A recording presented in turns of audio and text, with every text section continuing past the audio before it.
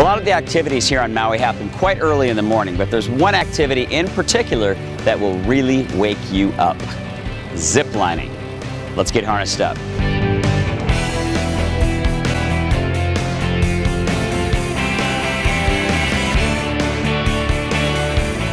Yeah, I'll take care of all the hook-ins and unhooks for you guys today. The only time you really want to touch our equipment is maybe to stop it from bouncing off your equipment while hiking, all right, guys? Uh-oh.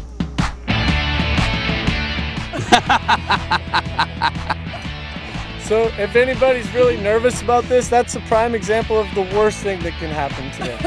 all right? Let's do it.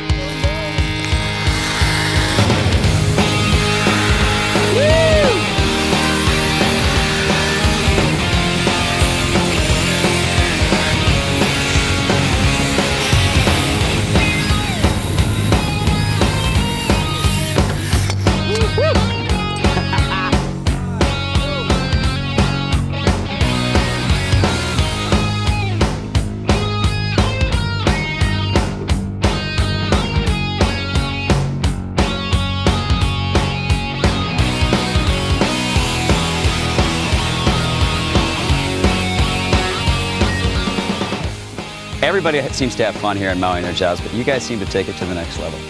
Even with the van ride up on the way up, man. You know what? For us, it's you guys. We're keeping you guys entertained. If you're having fun, we're having fun. So if you guys weren't having any fun, we wouldn't be able to have fun. So we're definitely having fun. So thanks for being cool, guys. Oh, hey. Well, I would highly recommend doing the zip line. It's a lot of fun. Uh, the people are great up there. The tour guides, they, they make it a lot of, lot of fun. Definitely worth it for all eight rides. It's a rush. It's been a wonderful experience, and I think it was something that everybody should experience.